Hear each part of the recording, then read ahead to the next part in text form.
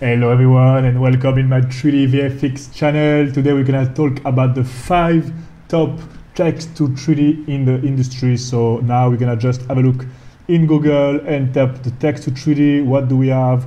For me, we have five major ones. I try a bunch of them.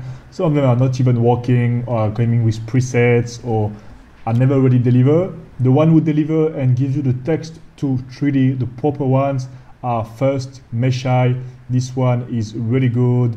I did a lot of video about this one. Really nice. You have a bunch of credits at the beginning and you can reuse.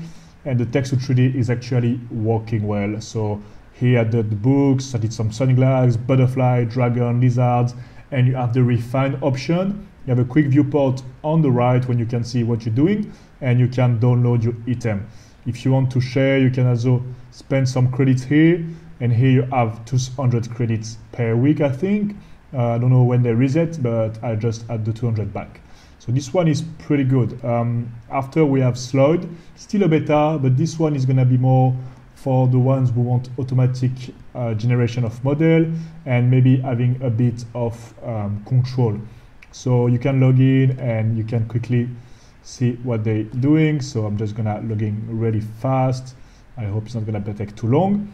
And here you have here the create button when you can jump into a viewport and see what happened in real time. And you can add objects type based on the li library they have, uh, or you can text a high prompt here. So have a look, Sloyd, pretty good.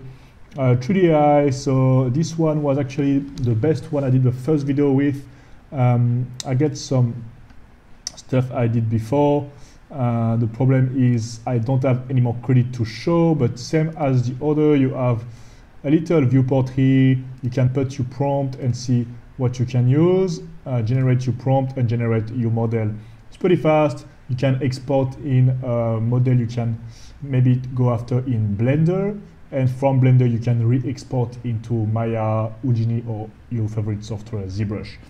Um, after you have the Alpha 3D, so Alpha 3D, I was not very um, a big fan of this one. I prefer the three, the two first one, three first one. But this one comes with a bit of bunch of presets. So you can load uh, some assets based on some image and based on some uh, text. So have a look.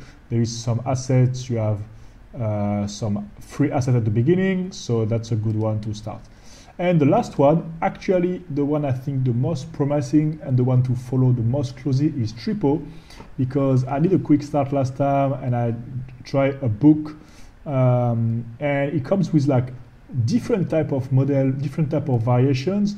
At the same time, um, I was actually very happy about the quality of the model. So have a look of Tripo, it's a good one. Um, those ones are gonna be free at the beginning for sure, and after you can always see the pricing for every type of stuff. It's always work with credit now. It's kind of the ben, the best way uh, for users. So basically, if you want two, three iteration, you can use the credits. So have a look, Meshai, Sloyd, 3D AI, uh, 3D Studio, Alpha 3D, and Tripo. Okay, so have a look of those ones. Um, if you have any comments about those apps and about how they work, if you have any question, you can ask me in the comments. If you have any reaction based on this app, or if you have a, another one I never show on this uh, channel, please uh, put me on the comments, or you can reach me a direct message. So thanks for watching and see you on the next video.